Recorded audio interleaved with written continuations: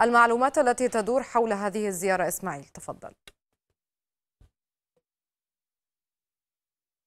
نعم يتوجه وزير الخارجية بوتو زرداري إلى بكين اليوم في زيارة رسمية ومن المتوقع أن أو من المقرر أن يلتقي بنظيره الصيني في هذه الزيارة. أهم ما تحدثت عنه وزارة الخارجية ووسائل الإعلام الباكستانية عن أهمية هذه الزيارة.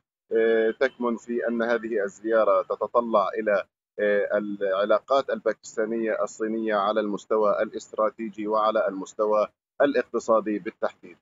هناك أمر هام جدا في هذه الزيارة وهي تفعيل خط أو تفعيل تنشيط العمل على خط التجارة الصيني الباكستاني والذي توقف في الآونة الأخيرة بسبب الاضطرابات السياسية في باكستان والذي يعتبر أمرا هاما بالنسبة للبلدين بالنسبة لباكستان لما يعني يؤدي به إلى